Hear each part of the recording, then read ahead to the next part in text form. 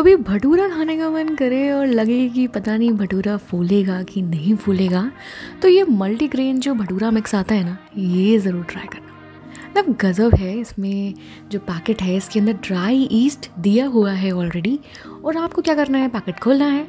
जितना भी मटेरियल है, सब निकालना है। बाद ईस्ट डाल दो और साथ में जो वार्म वाटर है, वो डाल दो, और आठ चम्मच दही और पाँच चम्मच के बराबर तेल डाल दो। अब इसे ना पटक पटक के खूब गुस्सा निकाल निकाल के ना इसको पटक दो और रख दो रेस्ट के लिए, क्योंकि इसको इतना पटका है तो रेस्ट की तो ज़रूरत बनती है ना इसको।